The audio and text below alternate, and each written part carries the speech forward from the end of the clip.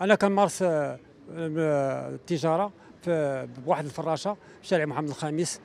كنحارب بها البطالة. كون آه، التوظيف المباشر أو الوظيفة العمومية تستحل عليا أنني نولجها. كنمارس هذه باش كنعيش هاد الوليدات الثلاثة. اليوم آه، جات السلطات العمومية في شخص سيد الباشا. تم الإجهاز على المكتسبات اللي عندي. كنتسقط من هذا القوت اليومي. آه، بدعوى أنه كيحارب آه، الفراشة أو لا كيتم إجلاء إخلاء الشارع من هذه الفراشة. إحنا في واحد الفئة اللي في التنسيقية الوطنية ديال المكوفين المعطلين اللي معايا هاد الإخوان ديالي جاو كيساندوني. حتى هما عندهم شواهد حتى هما معطلين.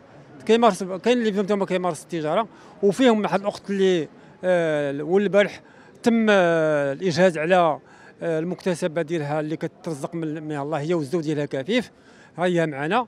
وكاين معنا واحد الأخ حتى هو اللي تم التهديد ديالو آه، من طرف آه، سيد الباشا. آه، حنا كندوا بهذه السلوكات اللي كتمارس علينا.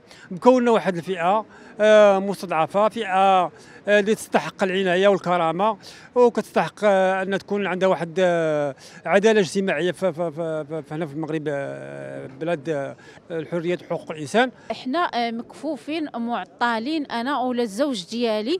يعني آه يعني أنا ناضلت يعني شي شي 14 عام وأنا كناضل بالشواهد ديالي بالدبلومات ديالي ولكن بدون جدوى من طرف الحكومة. اضطريت أنا والزوج ديالي يعني درنا فراشة جد جد بسيطة جدا آه، يعني باش كان باش كندبروا على لقمة عيش باش كنضمنوا يعني آه، يعني العيش الكريم ديالنا وكتجي لنا السلطات. يعني كياخذوا لنا هذيك السليعة ديالنا وكياخذوها وكيديوها.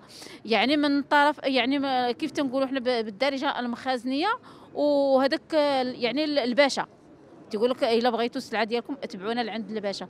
يعني هما يعني حنا بغينا شي حل بديل وما غاديش نبقاو نجلسوا في الشارع. لأن دابا حنا واخا كنجلسوا يعني مهددين. مهددين يعني تيقول لك راه تجلسوا غادي ناخذوا لكم هذيك السلعة ديالكم. المطالب ديالنا حنا سيدي حنا بغينا شي حل اللي حل شامل لهذه الفئة هذه لأنها فئة مهمشة فئة ضائعة. يعني كنطالبوا بالمسؤولين يلتفتوا يلتفتوا واحد الالتفاتة لهذه الفئه هذه لأنها فئه ضائعة جدا. ويعني حنا ما بغينا حتى شي حاجة من غير من غير لقمة عيش ديالنا اللي غادا تضمن لنا العيش الكريم ديالنا.